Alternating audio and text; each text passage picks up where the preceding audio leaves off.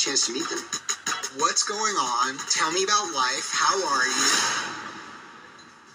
This is your white granddaddy come back to haunt me. What? Now this is my fault? So you want to marry my daughter? Yes, yes, I do. Well, Ezra, you can try. Hello, everybody. Welcome back to Screen Stars. I'm here today to bring you my review for the 2023 comedy You People. The film is directed by Kenya Barris and it stars Jonah Hill, who co wrote the film with the director, uh, Lauren London, Eddie Murphy, Julia Louise Dreyfus, Sam Jay, Nia Long, and David Duchovny. Right, the film focuses on Jonah Hill's character Ezra and Laurel, Laurel London's character Amira, who are two people from very different backgrounds. Uh, obviously, Jonah Hill is white and Lauren London is black. They uh, meet, it's a, it's a meeting out of nowhere. He mistakes her for his Uber driver, um, and essentially they start dating and fall in love. Uh, they're soon comes a time for them both to meet the parents. Um, and Eddie Murphy, Eddie Murphy's character Akbar, who is a devout Muslim, um, just will not accept Jonah Hill at all, and he's a complete arse to him basically throughout much of this film.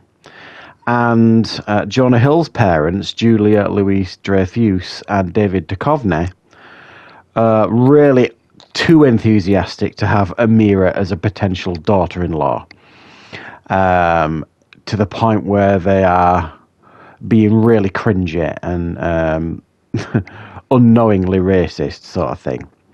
Um, so they've got to try and work through these barriers, make the family dynamics work in order that they have a future together so that they can get married. Right, what are my thoughts on you people? Well, I saw the trailer for this uh, a few weeks ago now, and why I was initially excited to watch this is because it had Eddie Murphy in it, um, and I'm a big fan of Eddie Murphy. Generally speaking, anything Eddie Murphy does, I'm there. You know what I mean? I'm really interested to see what he does. Um, I think these days now he's choosing his projects a little bit more carefully. Um, and for his age, he looks fantastic as well. You would not believe he's 60 or he's about to turn 60 or he's in his 60s, one of the three. Either way, he does not look his age. He looks great. Um, so I was I was interested in checking it out for that reason, essentially, and I thought the premise looked interesting. It certainly looked promising from the trailer, and I think the first thirty minutes of this film I thought was really good, really promising, and had some bright moments in regards to fun, uh, and it was quite amusing and funny at times. And then there comes a time in the film where you're kind of like, hang on a minute, they're serious. It's one of those films that is. How can I put this? Basically, it's a remake of Meet the Parents, but with um, racial undertones, and um, it kind of gets that message home with a sledgehammer. Um, you know, the racial differences um, and the uh, subconscious racism that you know many people in society have and feel, and so on and so forth. Now, they play on that comedy early on in the film, and it is genuinely funny at times. You know, to see Julia Louise Dreyfus and David Duchovny you know, going full on overly over enthusiastic and completely putting the foot in it. Really, it's really cringy. And the, the first thirty minutes, you're you're watching it like that, but you're still laughing because you feel like you're in on the joke.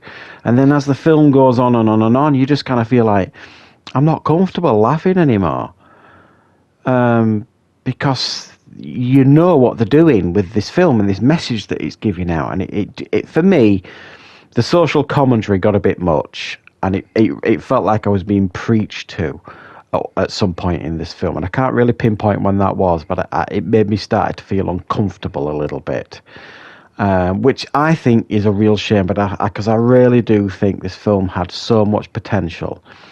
I thought the chemistry between Jonah Hill and Laurel London, I thought was excellent, really, really good. And then you add Eddie Murphy into the mix of that. I, I mean, you should have sparks.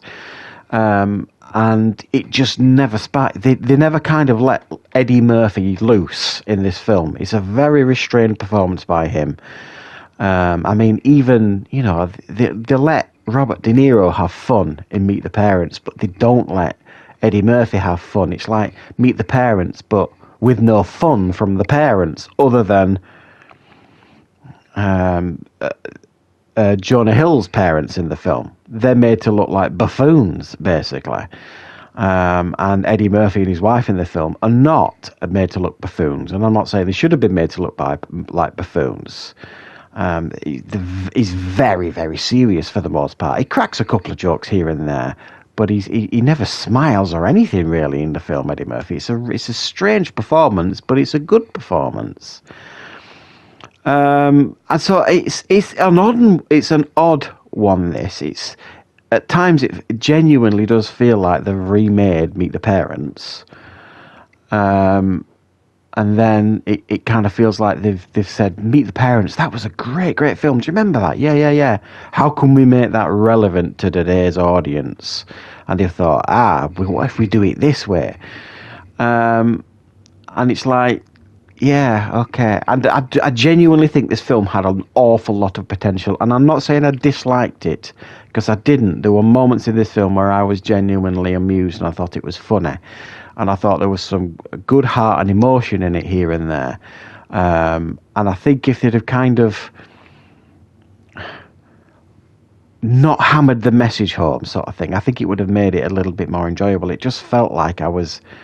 I was in a training course or something like that. You know what I mean? At times, it just just didn't feel entertaining at some at some point, which is a shame. And it and it got very predictable as well. It followed that very very similar pattern as what you get. Meet the parents and films like this all the time. You know, you meet the parents, it all goes terribly wrong. It leads to a, a wedge between the couple. They split, sort of thing, and then everybody comes back holding each other's hands and cuddling, sort of thing. It's, you know, you could you could literally.